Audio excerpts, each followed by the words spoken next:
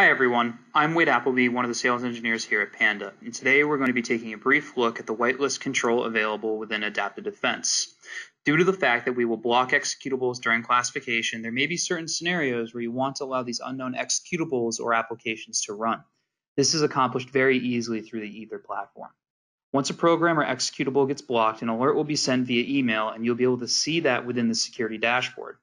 As you can see right here, Currently blocked programs being classified, six block programs. From here, we can drill down into the block and determine if we want to whitelist it during the classification or allow it to remain blocked until it gets classified and is either allowed to run because it's been deemed goodware or obviously prevented from executing across our entire customer base because it's now been considered badware.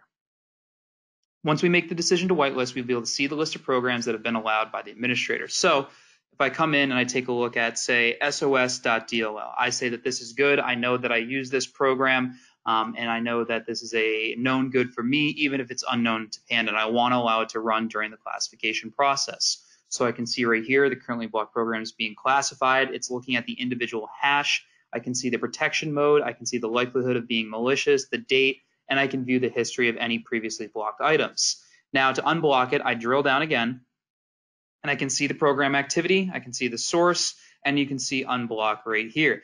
This unblock will allow it to run across the entire environment, no longer having to worry about you know doing an individual computer whitelist. I'm able to whitelist this across the entire environment during the classification process.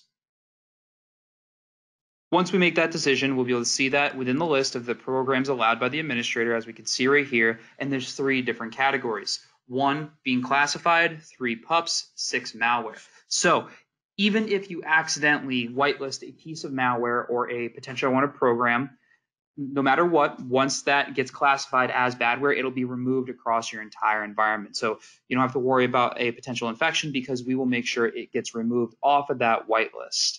And if we drill down, we'll be able to see these individually, exactly what they are, the history if we want to remove any, and we can also change the behavior as you can see up here. If a program on this list is reclassified as malware by our lab, it'll be removed from the list and prevented from running.